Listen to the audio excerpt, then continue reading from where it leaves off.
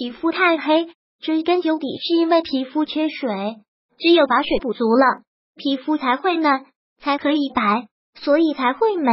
西红柿中含有大量的维生素 C 和水分，可以保持皮肤的弹性，从而延缓皮肤衰老。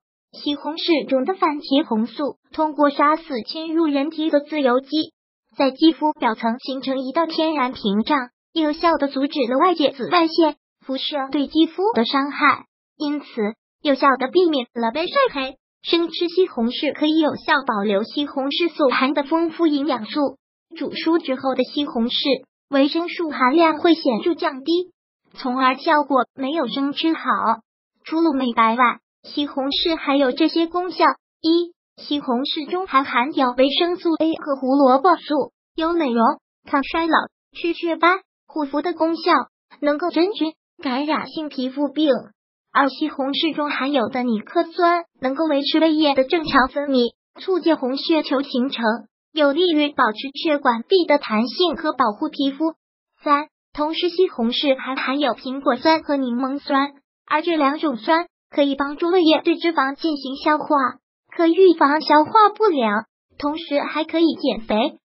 四，西红柿还有利尿作用，常吃西红柿对肾病也有帮助，很多有泌尿系统结石的病人都可以吃西红柿，可以有效的促进结石的排出。五。西红柿还可以防治癌症。西红柿里面所含的番茄红素可以清除自由基，保护细胞，同时也能阻止癌变进程。对于胰腺癌、直肠癌、喉癌、口腔癌、肺癌、乳腺癌等癌症都有抑制作用，有效降低癌变风险。六，西红柿可以促进血液中胶原蛋白和弹性蛋白的结合，使得人体的肌肤变得富有弹性。紧致细纹，让肌肤更柔滑细嫩。所以生吃西红柿不但能够美白，还可以延年益寿，可谓人类的人参果。据相关专家分析，每一百克番茄含水分九十五克，蛋白质一点二克，脂肪零点四克，碳水化合物二点二克，粗纤维零点六毫克，钙二十三毫克，磷二十六毫克，铁零点五毫克。胡萝卜素零点一一毫克，维生素 B 幺零点零五毫克，维生素 B 二零点零一毫克，尼克酸零点五毫克，维生素 C 幺七毫克，可供热量十七千卡。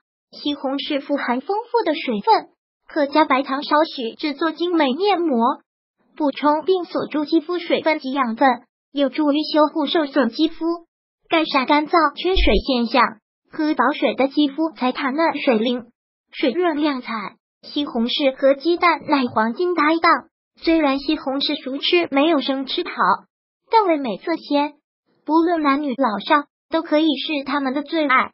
如果喜欢本视频，请分享并订阅本频道，别忘了按赞哦。